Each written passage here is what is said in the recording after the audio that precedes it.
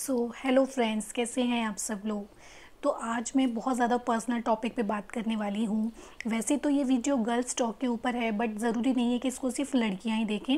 लड़के भी इस वीडियो को देख सकते हैं, क्योंकि सबकी लाइफ में लड़की तो आनी ही होती है और ऑलरेडी होती भी हैं।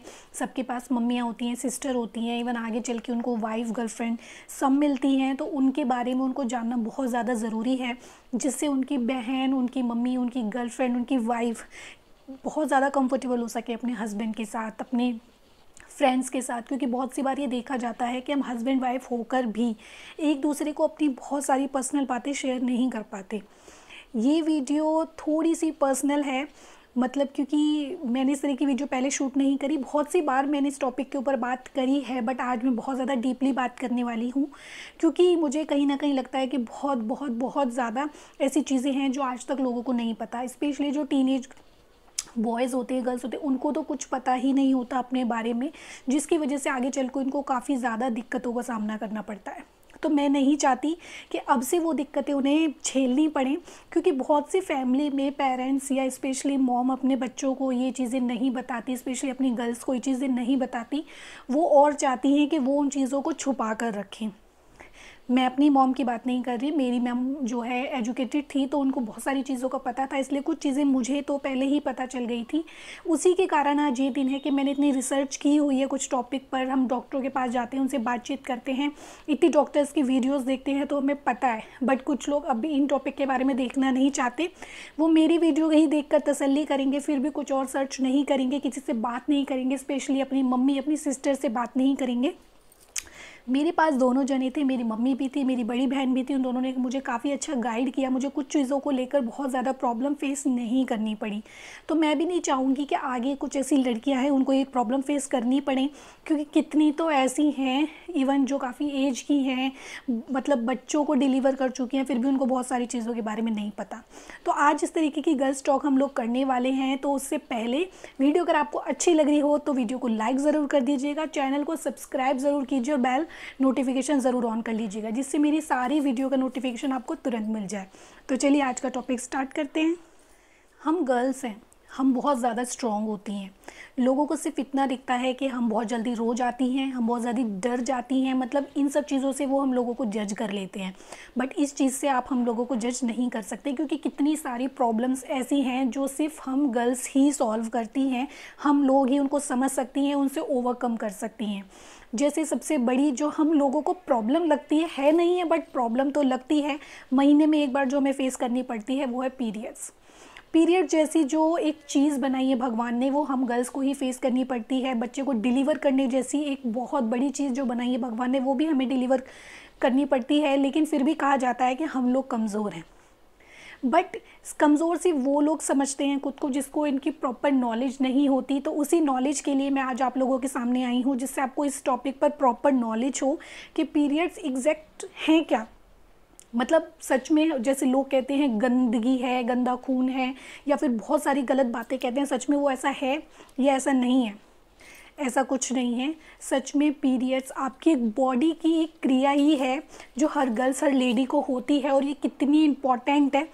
तो ये तो आप लोग समझते ही हो, क्योंकि जिन गर्ल्स को ये पीरियड्स नहीं आते हैं, वो आगे चलकर माँ नहीं बन सकती।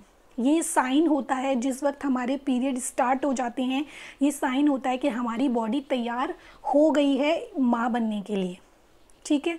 तो पीरियड्स बहुत ज़्यादा इंपॉर्टेंट हैं तो इसलिए हमें इनकी वैल्यू करनी चाहिए, इनसे बाहर नहीं भागना चाहिए।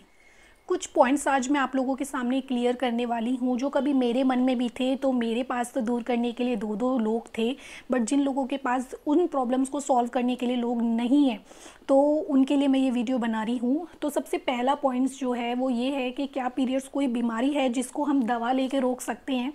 तो नहीं, इसका जवाब नहीं है। पीरियड्स कोई ऐसी बीमारी नहीं है जिसको हम दवाई लेके ठीक कर लें। वो एक नेचुरल प्रोसेस है जो हमारी बॉडी में होना जब शुरू हो जाता है, उसके बाद 40 45 की एज तक होता ही है।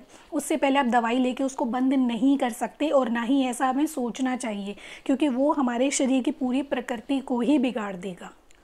तो जो दूसरा पॉइंट है वो ये है कि जो पीरियड का ब्लड होता है, वो प्योर होता है, साफ़ होता है या फिर गंदा होता है। जैसे बहुत सी मैंने भी यूट्यूब वीडियो देखी हैं, जिनमें वो बोला जाता है कि हमारी बॉडी का गंदा खून है तो उसको ऐसे निकाल देना चाहिए, ऐसे कर देना चाहिए, वैसा कर देना चाहिए बट नहीं, ये प्योर खून होता है, इसी ब्लड से आगे चल के एक बेबी बनता है।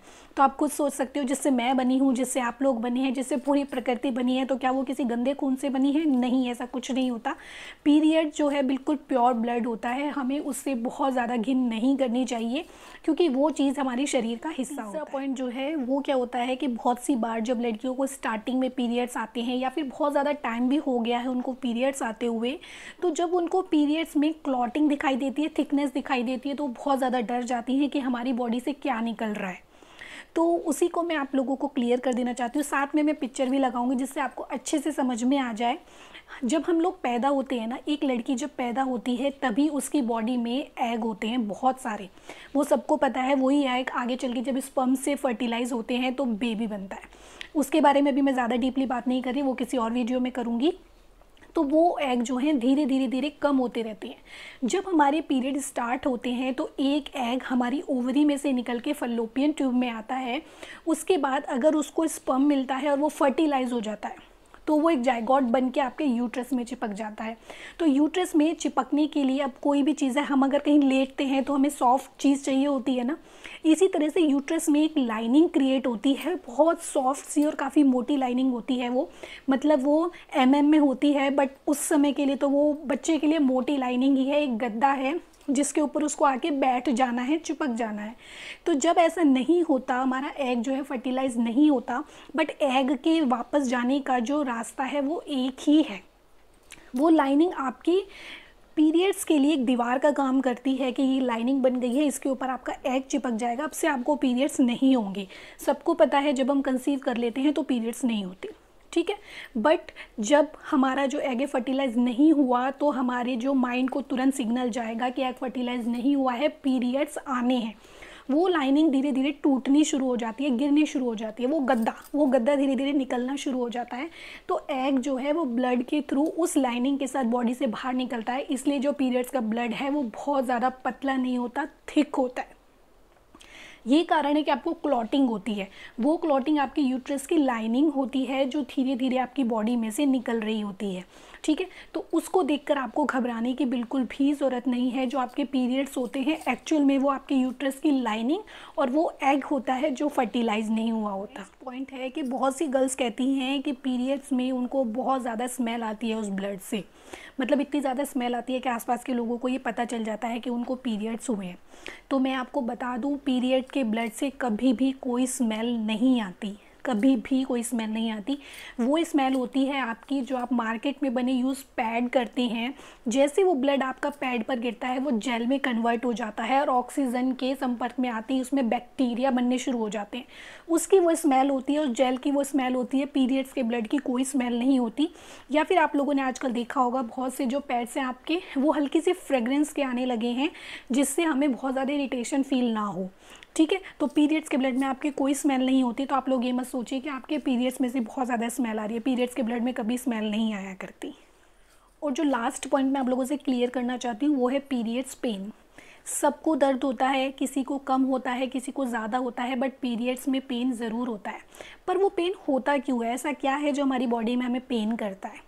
आप समझ सकते हैं आप खुद सोचिए, कोई एक चीज़ है, अगर उसमें से कोई बहुत बड़ी चीज़ है, गोल सी कोई चीज़ है, उसके अंदर कोई चीज़ फंस जाएगी, ठीक है? माना आपके बलून है, बलून के अंदर आपने छोटी सी कोई चीज़ डाल दी, कोई टॉफ़ी डाल दी, अगर आपको वो उसमें से वापस निकालनी होगी तो आपको बलून की हवा निकालनी होगी, बलून को स्क्वीज़ करना होगा, तभी तो वो चीज़ आप उसमें से निकाल पाओगे, फूले हुए बलून में से आप उस चीज़ को नहीं निकाल सकते।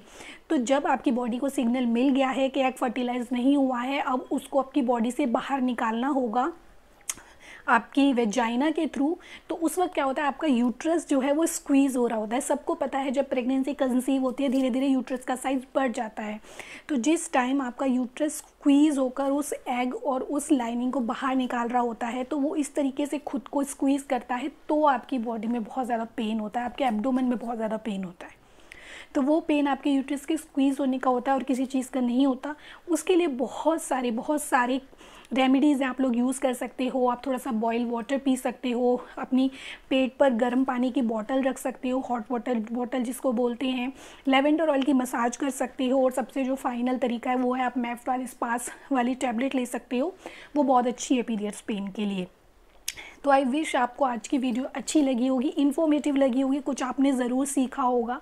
इस सीरीज़ में मैं और भी ज़्यादा वीडियोस आप लोगों के लिए लेकर आऊँगी जिससे आप लोग अवेयर हो। तो अब हैश अवेयर सीरीज़ चलाने वाली हूँ मैं। तो धीरे धीरे हम लोग बहुत कुछ सीखेंगे, ये वीडियो उनके लिए है, क्योंकि मैंने बहुत से ऐसे बच्चे, ऐसे टीनेजर्स देखे हैं, उनको इस चीज़ की बिल्कुल नॉलेज नहीं होती और वो बहुत ज़्यादा परेशान होते हैं। तो उनकी परेशानी अब ख़त्म होने वाली है, क्योंकि इस तरीके की सीरीज़ मैं आप लोगों के लिए लेकर आने वाली हूँ। आई विश आप लोगों को वीडियो अच्छी लगी होगी। वीडियो अच्छी लगी तो चैनल को सब्सक्राइब ज़रूर कीजिएगा, वीडियो को लाइक कमेंट और शेयर ज़रूर कीजिएगा।